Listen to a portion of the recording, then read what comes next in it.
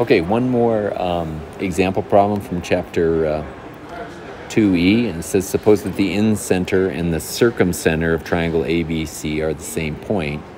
Show the triangle must be equilateral. This is a good one to uh, investigate in GeoGebra. Um, so again, I'm going to select all here. Well, no, I'm not. I'm actually just going to hide some things. Um, let's get rid of uh, the angle bisectors. Um, uh, let's see this. So there's the in circle drawn.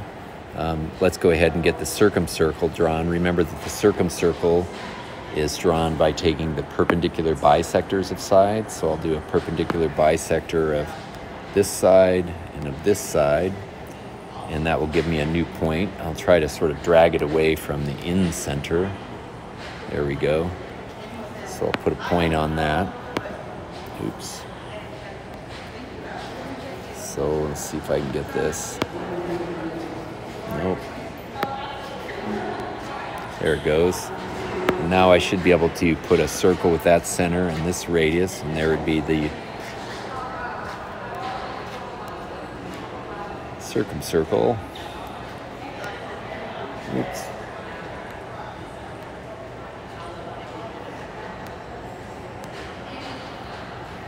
What we're looking at is, is what, what, what has to be true about the triangle if the circumcircle and the circumcenter, sorry, the circumcenter and the incenter are the same.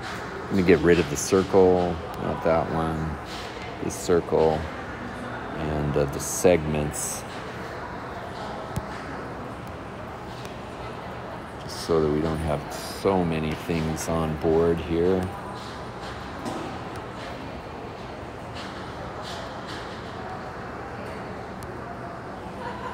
Oh, I don't like the distances either.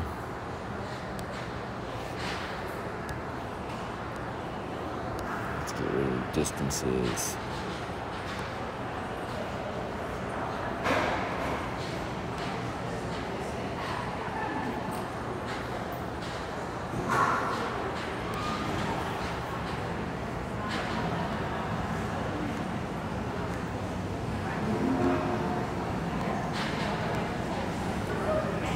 Okay, so I guess um, point I is the in center, and point J, which we'll rename to be C. Be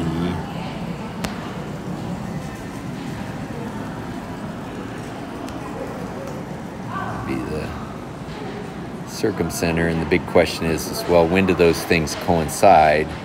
And it sure looks like equilateral triangle to me. I don't know about you. Um, but I'm looking at where these two centers coincide. Of course, I could draw in this. It's kind of interesting to just see what happens there. In circle and circumcircle seem to have the same center when sides of the triangle are dangerously close to being equal. So that's what we're trying to prove. Go ahead and get it. Um, so let's go ahead and draw up a triangle.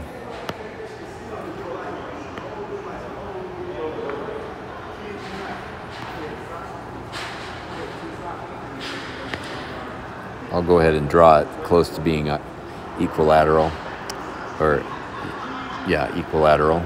And I'll say um, this is A, this is B, and this is C.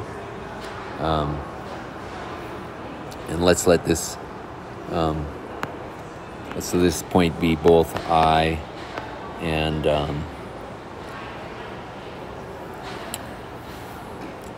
um, actually he uses O for incenter where I is equal to the uh, incenter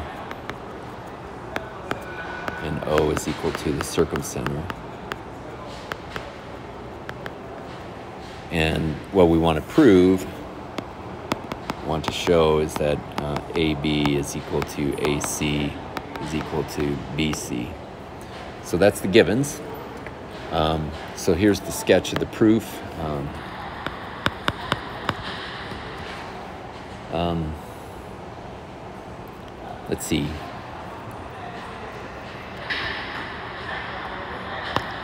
OB is going to have to be equal to OA.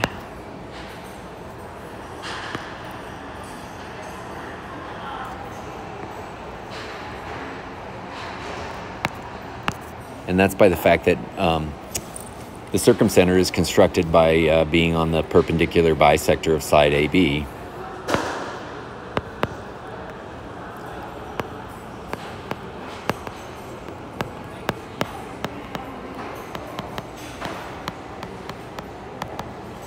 Okay. Um, so what does that give us? So angles marked, uh, I'll say one, are congruent.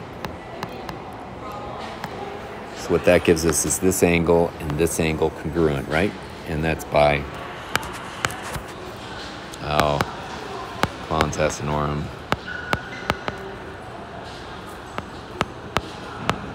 The bridge of asses. Okay, so we have those two angles equal. Um,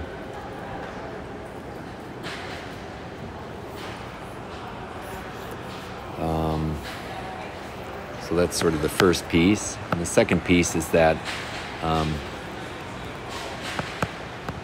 but AI bisects angle A, so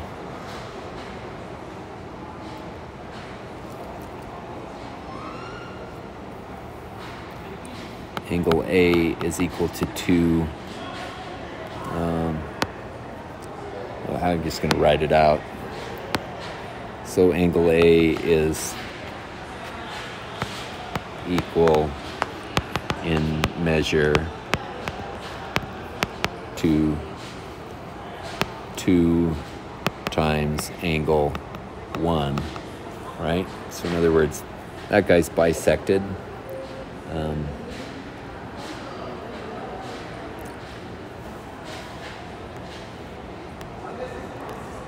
just say three. Similarly, um, BI bisects B. So angle B is 2 times 1 as well. So 2 times 1 as well right there. Um, so what have we shown? We've shown angle A is equal to angle B. Thus, again by Pons Asinorum,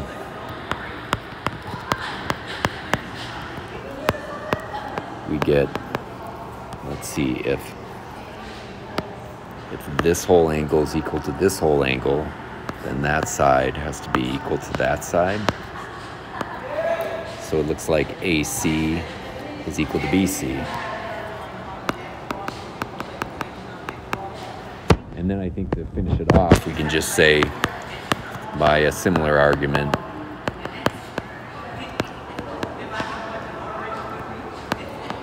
BC is equal to, uh, let's see, BC is equal to AB.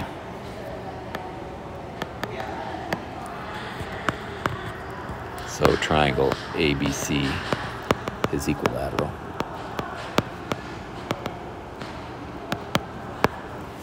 And that's the end of that proof.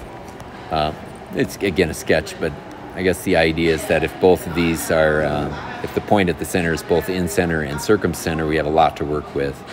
It's on the point that's both bisects uh, exterior angles and is equidistant from each of the vertices. So um, we can twice apply Pons Asinorum to get that two angles are the same, A and B, and that implies that two sides are the same, and just repeat the argument for the other side. Okay, before I go, I wanted to say that there were some other really in interesting facts in Isaacs' text about incircles.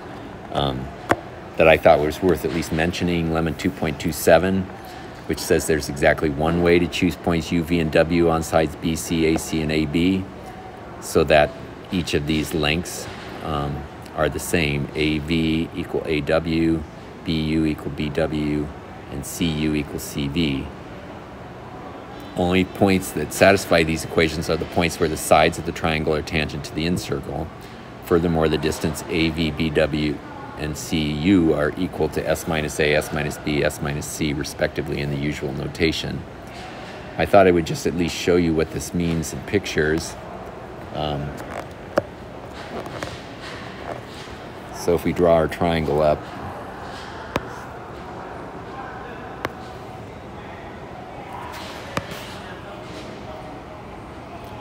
and we sort of try to find the middle of the triangle, the in center. Um, and let's see, A. Trying to remember exactly how he labels. I might want to look at this again. So this one, if we think of this like the in center, this one we would call W. This one we're going to call V. And this one we're going to call U. Um, he says that there's exactly one way to choose points U, V, and W on these sides so that AV equal AW. So let's kind of do that with a highlighter. AV equal AW. CU equals CV and BW equal BU. So it turns out that, that these points of tangency for the incircle um, give you these points on the sides, W, V, and U, such that we get exactly equality on, of, of these lengths. And um, Furthermore, he says the distance AV, BW, and CU are equal to, let's just write it in, this one is equal to um, S minus A, oops, um, BW is going to be S minus B, this one, and this one is going to be S minus C. So, kind of a fascinating um, situation. Uh, you can look at the proof in your text, but I can imagine it's fairly straightforward because it seems like we have a lot to work with um, in terms of angles and sides when we consider this to be I, the in center.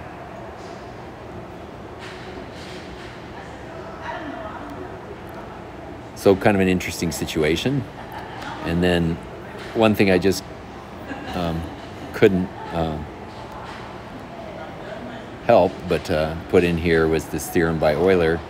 And he says that if distance, if d is equal to OI, the distance from the circumcenter to the incenter of an arbitrary triangle, um, then that distance squared is equal to r times the quantity r minus 2r, where r and big R and little r are the circumradius and, and in radius of the given triangle. So so Euler incredibly characterizes the distance between the two centers um, of the circles that are um, inside and outside of the triangle, and, um, and shows this. And, and one of the things that's kind of interesting to, to note on this um, that I thought was kind of um, nice in the text was if we just concentrate on this factor, you know, the in circle's radius always has to be, um, or sorry, yeah, the, the the distance between this, this thing on the left has to always be positive.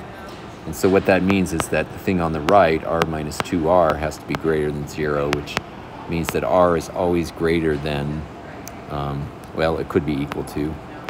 r is always greater than 2r, and it turns out that it will be um, r is equal to uh, 2r when the triangle is equilateral. So what does that mean? It just means that the uh, circumcircle's radius is always at least twice the incircle's radius, but it's exactly equal to twice the incircle's radius when the triangle's equilateral. Really difficult proof, um, as you can imagine, but I thought it was an interesting fact kind of an obvious place to go. You've got these two circles. How do their radii interact? And of course, it's Euler that finds that solution. I see I have another um, slide in here that um, is actually not um, in this section, so you can disregard that slide. Uh, this is the end of our, uh, our lecture for this chapter, and I'll look forward to seeing you on Monday when I get back. I hope that uh, this has been informative. Uh, talk to you soon. Bye.